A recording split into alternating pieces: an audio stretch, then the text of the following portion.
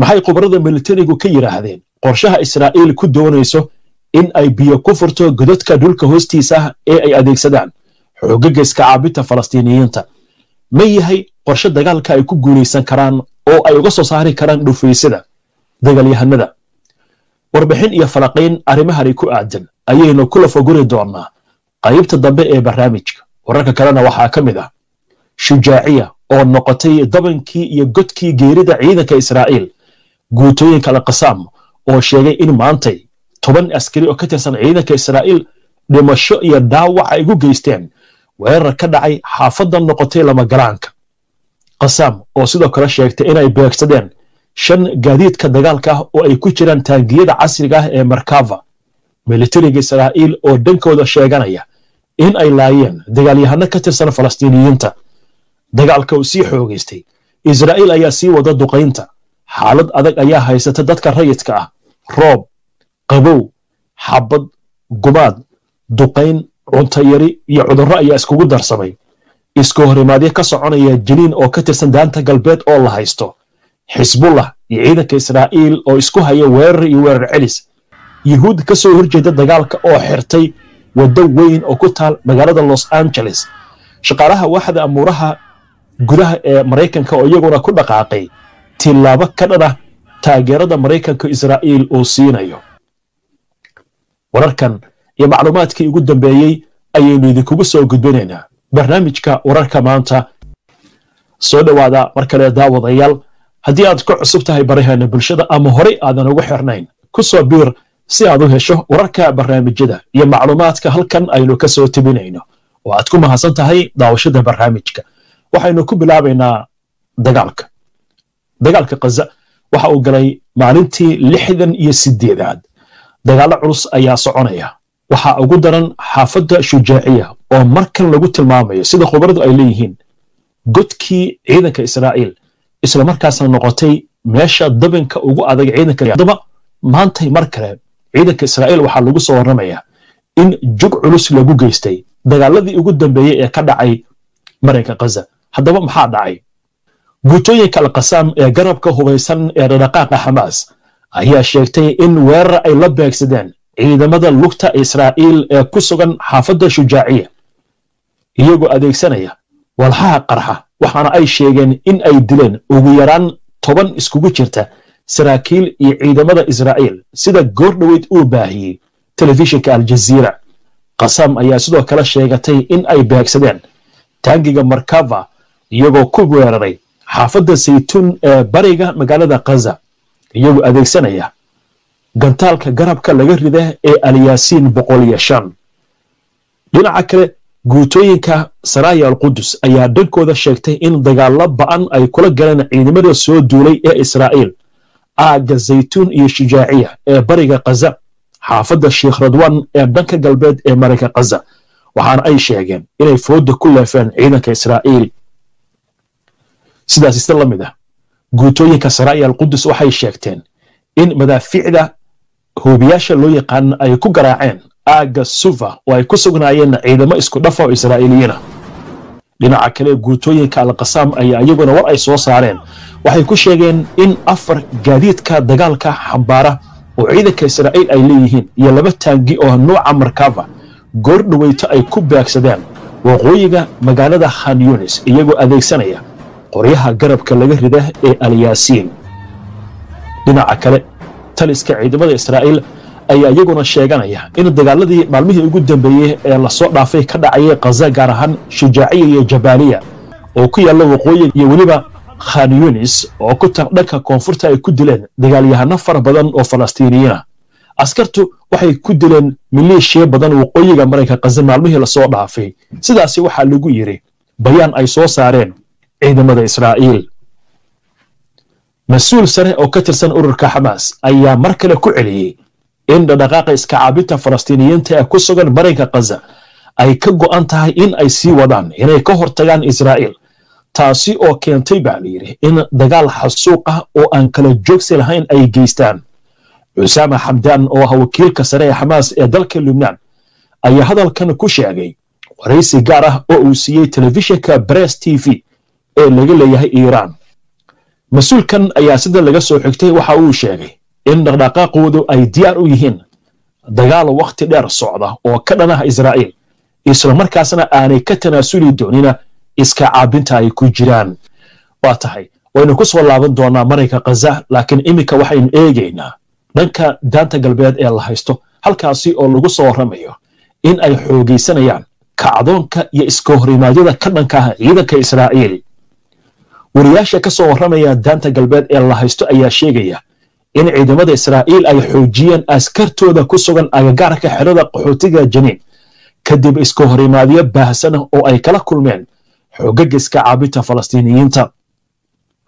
Warka ayaa intaasi ku daraya in iska horimaadyo gacan ka hadal ah oo u dhexeeya xoogaga iska caabinta iyo ciidanka duulaanka ee israa'iil ay ka socdaan xaafadda aldamij ee dhanka galbeed kaga beegan xerada qaxootiga ee janiin ugu yaraan koob iyo toban falastiiniyiina ayaa la xaqiijiyey saacadihii la soo dhaafay inay ku dhinteen iska horimaadyada iyo toogashada ay geysanayaan ciidanka israa'iil.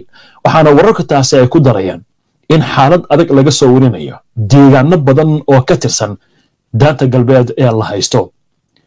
Dhinaca xadka lubnaan iyo israa'iil haddii aynu eegno xisbullah ayaa waxa ay goor dhoweyta ku dhawaaqeen in ay duqeeyeen ciidamo israa'iiliyiin ah oo ku sugnaa agagaarka xerada shumeera ee koonfurta lubnaan dhinaca kale telefishinka kanaal labiyo toban ee israa'iil ayaa sheegay in taliska ciidanka israa'iil ay qaadeen weeraro horodhac ah oo ay ku beegsanayaan kaabayaasha iyo goobaha xisbullah waxaana ay u badan tahay bay leeyihiin wariyaasha aaggaasi ku sugan. In tani ay jawaab u tahay weerarada ay geysanayaan dagaalyahanada xisbullah wariyaasha wakaaladaha wararka ee ku sugan aaggaasi ayaa sidoo kale soo sheegaya in duqaynta israa'iil ay la beegsatay agagaaraha magaalada nakhuura ee dhacda galbeedka dalka lubnaan.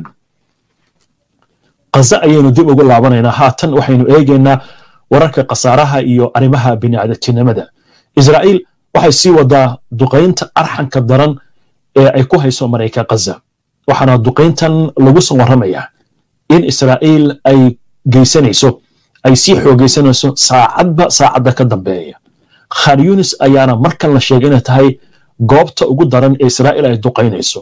Sidoo kale rafax ayaa ka mid ah.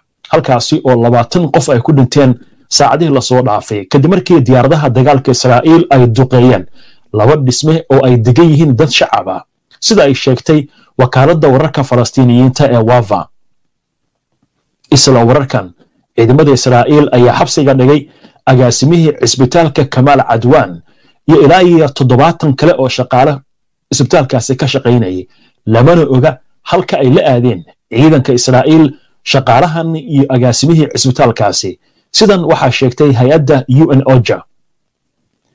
Xaaladda sidoo kale waxaa laga dayrinayaa dadka marinka kaza ku dhaqan. Hay'adda u n oja waxay sheegtay in hal milyan iyo sagaal boqol oo kun oo qof oo ah dadka ku dhaqan marinka kaza iminka ay gabaad ka dhiganayaan oo ay u carareen gobolka rafax ee koonfurta kaza waxaana halkaasi ku haysata duruuf adag oo aad u daran. Waxaana ka mid ah roob halkaasi ka dacaya qabow cunto yari cudurro. Waxaana lagu soo warramayaa in xaalad adag ay ka jirta halkaasi. Wararka dhanka diblomaasiyadda haddii aynu eegno la taliyaha amniga qaranka ee dalka maraykanka jack sullivan ayaa goor dhoweyta ka degay israa'iil halkaasi oo uu joogi doono labada maalmood ee foodo inagu soo haysa waxaana kulamo uu la yeelan doona madaxda israa'iil oo ka mid yahay ra'iisul wasaare benyamin netanyahu. Sidaasi waxaa sheegay raadiyaha militariga israa'iil. Sullivan ayaa sidoo kale qorshuhu u yahay in uu kulamo la yeesho golaha wasiirada dagaalka ee netanyahu iyo madaxweynaha israa'iil isaaq herzog.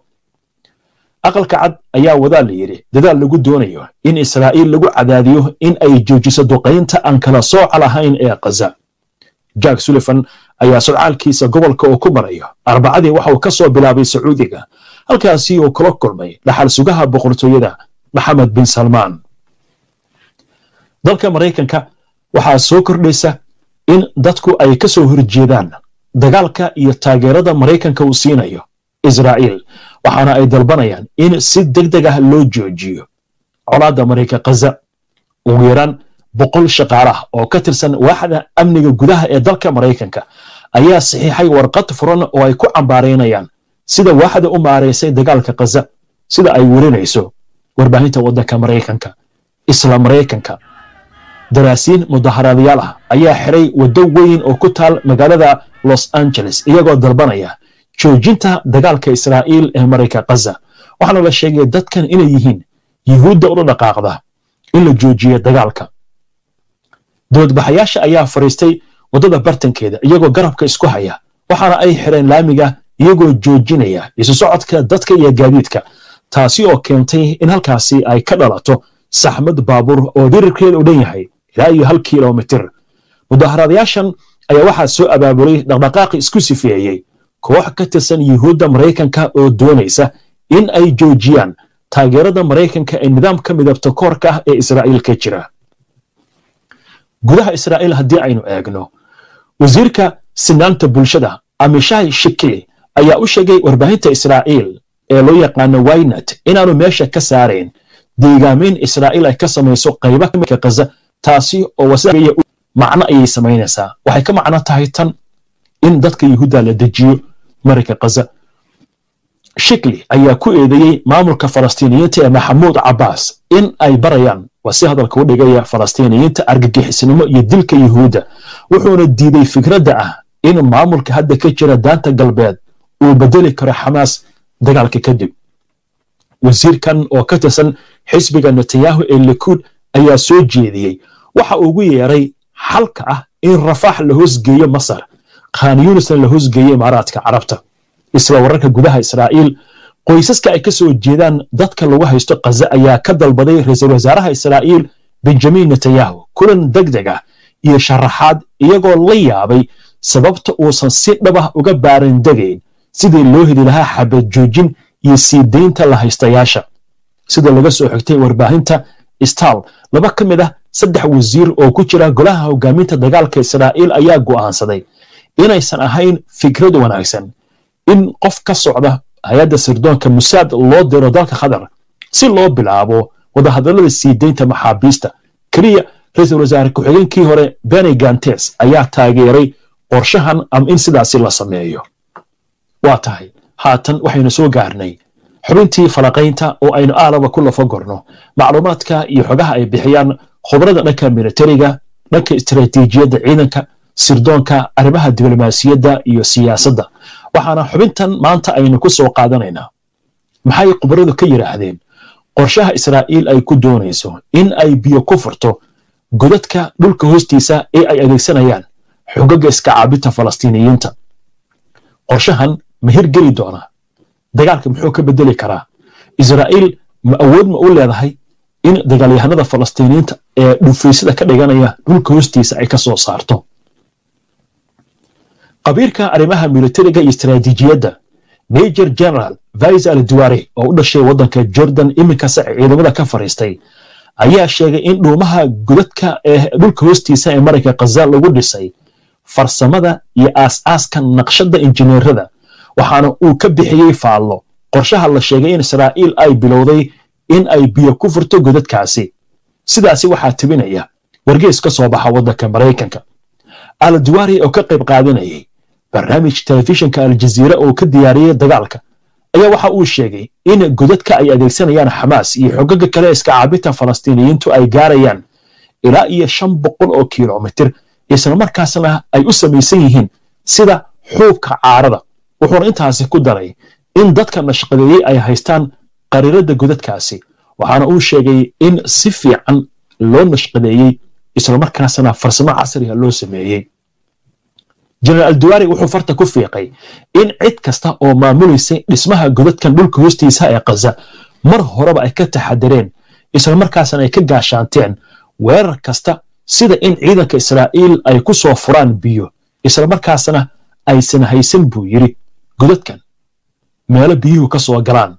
Waxaana jirta buu yidhi in qaar ka mida godadkaasi ay ka kooban yihiin dhowr dabaq islamarkaasna ay kala fog yihiin qabiirka arrimaha militariga jenaraal fais al duwari wuxuu carabka ku adkeeyey in ay u badan tahay in qaybta isku xiran ee godadkaasi ee u dhow waddada albaxar ay yihiin kuwa ugu dhow islamarkaasna aysan isku xirnayn ama aysan isku furnayn godadkan iyadoo la filayo in ciidanka israa'iil ay ku guulaysan karaan in qayb yar oo gaar ah ay biyo ku furaan. Qabiirku waxa uu tibaahay in ciidamada israa'iil ay diyaariyeen guuto injineer ah oo si gaar ah u qaabilsan godadka aagga ku yaalla naqab. Waxayna qaateen buu yidhi tababaro kala duwan sida inay ka hortagaan weerar lagaga soo qaadi karo dhuufaysidaasi waxaana uu caddeeyey in ay adeegsanayeen eeyaha qalabka loo yaqaana robotka iyo waxyaabo kiimika ah sida sunta. Laakiin sida muuqata buu yidhi kuma guulaysan dagaalka iminka ka socda marayka kaza wargeyska wall street journal ee ka soo baxa dalka maraykanka oo soo xiganayay saraakiil amerikaan ah ayaa sheegay in ciidamada israa'iil ay bilaabeen inay biyaha badda ku furaan godadka xamaas ee kaza iyadoo la filayo in tilaabadan ay socon karto toddobaadyo. Maalmo ka hor afayeen u hadlay xukuumadda israa'iil oo lagu magacaabo elen levy ayaa ku tilmaamay dhuumaha godka hoostiisa ee xamaas inay yihiin kuwa gaar ah halka wargeyska financial times ee ka soo baxa magaalada london uu ka soo xigtay sarkaal kale oo sheegaya in burburinta godadka marayka kaza ay la mid tahay mala awaal cilmiyeed oo kale. Khubarada waxay leeyihiin israa'iil si kastoo iskugu daydo in ay biyo ku furto godadkan kuma wada guulaysan karto in ay burburiso. Waase dhici karta in qaybo ka mid a biyahaasi ay ku furto. Sidoo kale waxaa la leeyahay qaabka loo sameeyey ayaa waxay tahay farsamo aad u sarraysa oo xitaa biyaha laga difaaci karo. Wixii wararah ee arrimahani ku soo kordhana barnaamijyadana soo socda ayaan idinkugu soo gudbin doonaa. Haddii allah